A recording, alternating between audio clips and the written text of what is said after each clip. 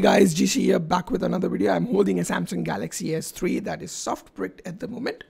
This is a tutorial on how to unbrick your Samsung Galaxy S3 using the CheckROM Resurrection Edition ROM. So first and foremost what you have to do is reboot into the download mode of the phone. For that you can use the power button, the home button and the volume rocker down button combos. As you can see I'm holding it right now in the video. Just keep holding them and it should automatically boot into the download mode. Hit volume rocker up and done. There, it's in the download mode connected to your PC, uh, which has Odin in it. After that step, uh, it, uh, the next procedure is in a completely different video for which I'll be providing the link right here. Click on here to get to that video.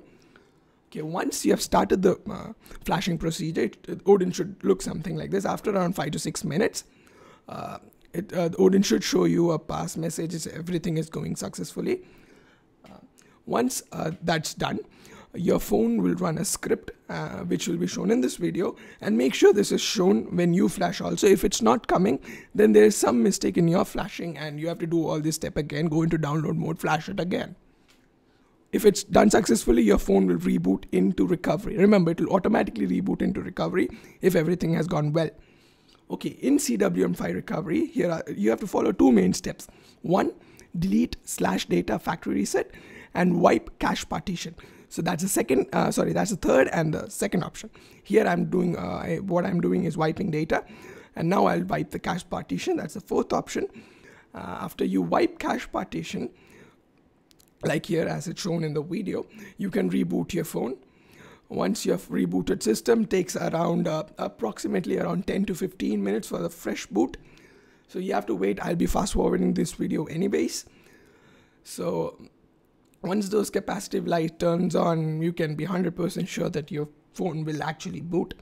Um, so this is the most easiest step to recover from a soft brick. So now your phone has successfully been unbricked. Hit start, just follow these steps. Skip again, um, next, skip, uh, skip, um, then I have to go, not now, next, next, finish. And as you can see, you are booted into CheckROM v4 successfully. And let me show you guys about phone and there you are. So if you guys like this video, subscribe to my channel, share this video, like this video, and keep following me. Thank you guys for watching.